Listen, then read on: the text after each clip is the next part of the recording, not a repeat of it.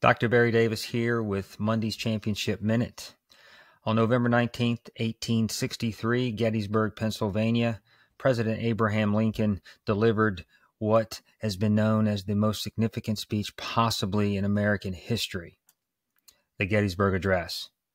The Gettysburg Address lasted all of two minutes. It was 267 words, 202 which were one syllable. Not too complicated.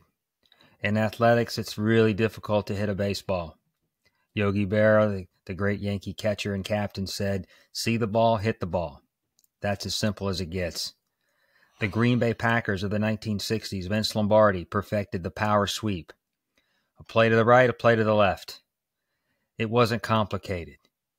Things that are not complicated are easy to teach. And then when it's easy to teach, it's easier to learn. And when it's easier to learn, it's easier to execute them to perfection. So, as coaches and leaders, keep things simple and keep it so your players and your people understand it better. The Gettysburg Address will always be something that people will remember as a significant part of our history. And it was only 267 words and only two minutes. Dr. Barry Davis signing off. We'll see you next week.